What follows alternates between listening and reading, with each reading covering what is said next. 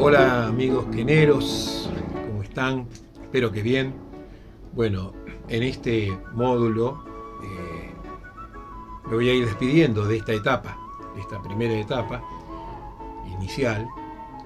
Y bueno, espero que haberles sido útil eh, en esto de abordar un instrumento tan maravilloso como es la quena. Y no olvidar una cosa, esto siempre es un paliativo esto, esto que estamos haciendo, esta posibilidad de comunicarnos mediante un video de 15 a 20 minutos, es apenas un paliativo, una, emergencia. Es decir, este tema de la pandemia nos ha obligado a recurrir a métodos pedagógicos inusuales, si se quiere. Eh, aunque las conferencias y las, y las clases suelen filmarse y ser, ser cumplir con su objetivo, ¿no? Este, pero siempre eh, hay que pensar en que la presencia del docente es lo más importante eh, para, el que está aprendiendo. Todo el proceso de enseñanza-aprendizaje está basado en esta relación presencial. Así que, que, bueno, espero haberle sido útil y no olviden que, cuando tengan la oportunidad volver al estado presencial, que es lo más lo indicado. Bueno, eh, antes de, ir al, final, a la segunda parte de Ojos Azules, tema que comenzamos en el video módulo 5, quiero referirme a dos o tres cosas que, aparte de esta de, la que comenté hace un momentito, que tiene que ver con la, relación docente-alumno, si se quiere, eh, que tiene que ver con la relajación fundamentalmente. Este, relajarse no significa eh, abandonarse, no significa estar tan blando que no puedo accionar, no, es adquirir el tono muscular necesario para poder accionar con el instrumento. A lo que me refiero cuando digo relajación es a eso, poder mentalmente recorrer y ser consciente de todos los elementos que participan en el momento de emitir y producir un sonido. Eh, los ah, músculos que participan, la lengua, los orbiculares, los pterigoideos, eh, el movimiento del maxilar, este, el, rol de la lengua, mm, dando pequeño, una pequeña D o tú este, para poder atacar el sonido. Después la respiración, la respiración abdominal, sostener ese sonido que salió con el tú, sostenerlo con, con los eh, músculos abdominales. No se olviden que nosotros hacemos una inspiración por nariz, podemos hacer recurrir a esa respiración del yoga, no hay problema, eh, pero siempre con el límite ese, que me deje consciente de todo lo que yo necesito para poder accionar. Entonces, inspirar en cuatro tiempos, retener en cuatro tiempos y exhalar en cuatro tiempos es un ritmo normal para la respiración. De paso, voy adquiriendo un hábito que tiene que ver con la respiración rítmica. Entonces, inspirar por nariz eh, está bueno, aunque después en el futuro, más adelante, cuando yo estoy tocando, uno haga esta inspiración en forma mixta, es decir, un poco por la nariz, un poco por la boca, eso no es el problema. El tema no es, es, eh, es no, mm, por ejemplo, en una grabación, en una filmación, no hacer como si uno estuviese ahogado, ¿no? A veces he visto quenistas y flautistas que esto este, les pasa, este, inspirar por la boca todo. No se olviden, la nariz es el calentador orgánico de nuestro organismo, de nuestro cuerpo. El aire que entra frío se calienta en la nariz, entra al organismo, lo, retengo y lo exhalo para poder producir sonido. Eh, de lo contrario, puedo tener, eh, si en época fría no es muy difícil adquirirse eh, una, una linda laringitis, una faringitis este, de esas bravas. Así que bueno, eh, son recomendaciones nada más. Otra tiene que ver entonces, bueno, la relajación dijimos, no, no, no nirvánica, no yoga, no yoga a full, sino utilizar esos elementos para que me sirvan para esto. No ser tan fundamentalista. Bueno, ¿y esto de qué usa? El instrumento definitivo todavía no lo tenemos. Comenzamos con uno. Pero, como es un instrumento relativamente económico, la quena, podemos cada vez que nos encontramos con algún luthier que sabemos que es bueno, eh, probar algunas quenas distintas. ¿eh? Siempre es bueno tener algunas para distintas alternativas. No se olviden de un dato. Siempre hay una quena para la anatomía de cada uno. Siempre hay algo que va a encajar justo. Y eso hay que buscarlo. Y esa búsqueda en sí es fantástica. Así que los invito a que tengan en cuenta eso. Es muy importante. Las quenas que sirven para hacer una samba, por ahí no me sirven para hacer una chacarera o un, o un retumbo. Eh, es así. Entonces, o una vidala. Son cosas distintas, timbres, colores, texturas. Tenemos que buscar eso. Entonces, estas son dos o tres cositas que quería, que quería este, recalcar antes de ir al tema. Otra cosa que quería referirme, el tema, ojos azules, tal cual como lo estoy, como lo escribí y como lo estoy tocando, obedece a una escala pentafónica. Y digo pentafónica, no pentatónica. O sea, cinco sonidos, no cinco tonos. Entonces, ¿qué ocurre? Vamos a ver cómo es esa escala pentafónica. La vamos a ver en forma descendente. ¿eh?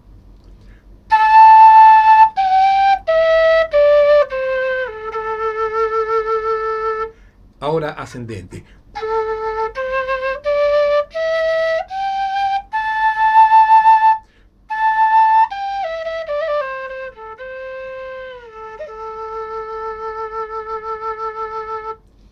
Sonido puede ser liso, puede ser con un, con un este, leve vibrato, pequeño vibrato, si, si lo tenemos. Si no lo tenemos, no se hagan problemas. Ya vamos más adelante ver aspectos que tienen que ver con el vibrato y todo eso. Bien, esta escala pentafónica son la, sol, mi, re, do, la. Y haciendo ascendiendo es la, do, re, mi, sol, la. Bien, eh, esos son los sonidos que vamos a trabajar para hacer ojos azules. Y faltaba la segunda frase de ojos azules, la que dice, este, bueno, nosotros teníamos hasta ahora em, ojos azules, no llores, no llores ni te enamores. Y la segunda frase le contesta, llorarás cuando me vaya, cuando remedio no haya. Bien, esa es la, falta, la parte que falta la segunda. Y dice,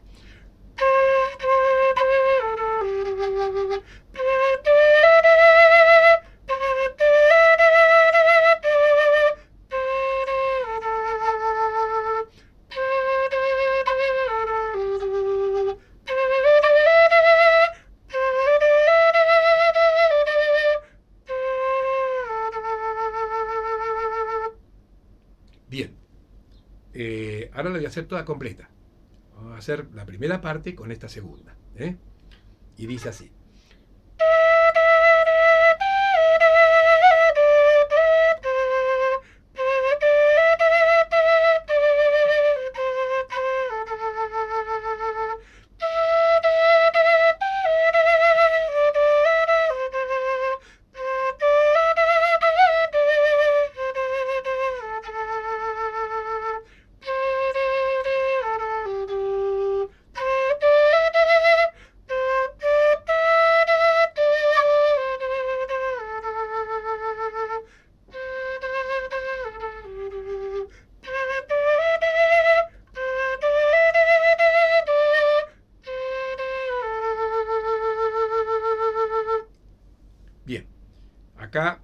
Que está todo redonda la idea, digamos, eh, la escala pentafónica, sobre la que está basado el tema, cuáles son los sonidos, y trabajarla. La escala pentafónica hay que trabajarla para que nos quede en el oído. ¿eh? Esto de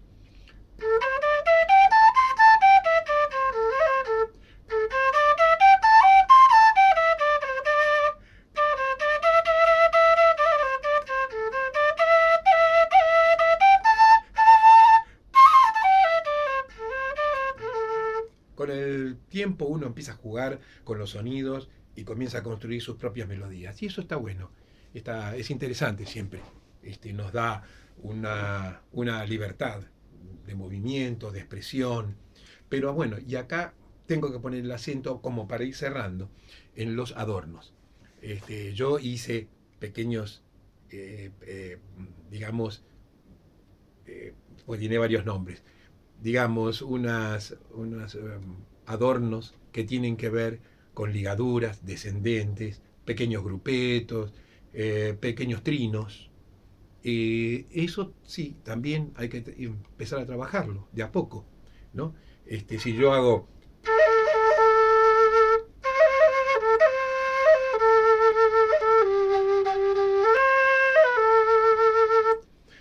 estoy ligando descendente, ascendente, trinando. Bien, esos son todos pequeños, pequeños adornos que voy incluyendo en la medida en que voy tocando. Y, bueno, eh, forma parte del ideario de cada uno. Uno, estos, estos eh, adornos puede ir en la partitura, lo puede ir marcando si quiere. Uno anota la melodía principal y en, en algunos lugares marcar qué adorno va a ser. Eh, algunos ejercicios para eso puede ser, por ejemplo, eh, acá estoy levantando algunos dedos para que ascienda el sonido o para que descienda. ¿eh? Y también un ejercicio que se puede hacer es glisar o mejor dicho arrastrar los arrastres. Por ejemplo, ascendentes, de la a mi.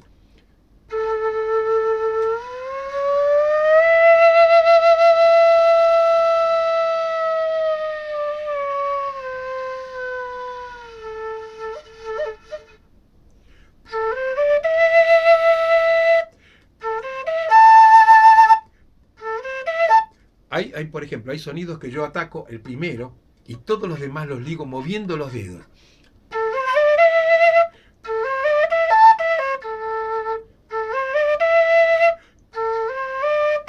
Este último, este mi, lo estoy atacando, pero todos los demás los ligué. Es decir, ataqué el primero, el mi, el la, el mi, y los demás los ligué. Ahí lo ligué. Ahí lo ataqué. ¿eh? Entonces,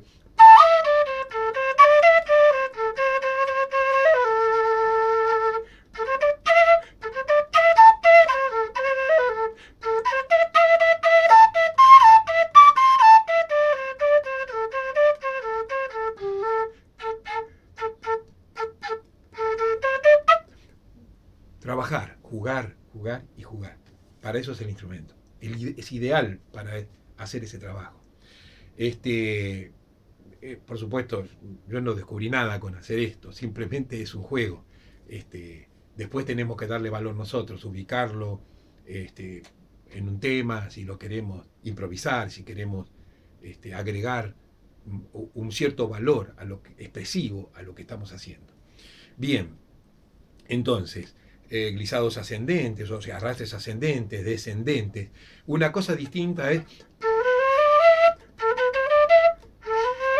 Ahí hay ligaduras con semiataques o ligaduras moviendo los dedos. Eso tiene, cada sonido tiene una identidad.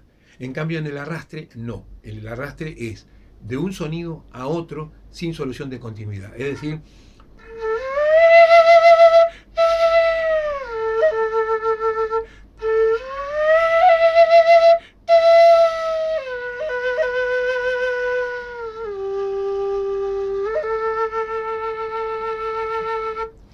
decir, eh, eh, jugar con esos, con esos, este, con esos datos y poder construir pequeñas melodías eh, que nos gusten. es decir, ahí yo estoy trabajando nada más que con la primera octava, en este caso. Así que, bien, no me quiero extender mucho, mucho más, porque creo que con estos datos y con estos elementos podemos hacer un buen trabajo y yo siempre estoy dispuesto a, recibir las inquietudes, las preguntas, en fin. Este, me parece que podemos complementar este sistema con esta posibilidad de comunicación vía Facebook o vía YouTube y, ser más efectivo. Así que los voy dejando con la esperanza de que les haya sido útil, de que, en fin, eh, escucharlos algún día y que me digan que, esto les pudo servir para, para hacer música y divertirse y compartir con amigos y todo eso. Eso es lo más, lo más grande para un docente, por supuesto, es una aspiración máxima, digamos, ¿no? Así que les mando un abrazo, no se olviden de ser felices, porque para eso estamos, para eso vivimos y para eso hacemos música. Este, yo seguramente voy a reencontrarme con ustedes en otras, con otras complejidades, por ahí haremos otras cosas, y este, también con el SICU. El SICU es un instrumento maravilloso en todo sentido, desde el punto de vista solista o para compartirlo con, otros compañeros como Sicuris. Este, como Sicuris o como Pusa Morenos o como, en la modalidad que, ustedes deseen. Así que eh, estoy siempre dispuesto. Bueno, un abrazo a todos y hasta cualquier momento.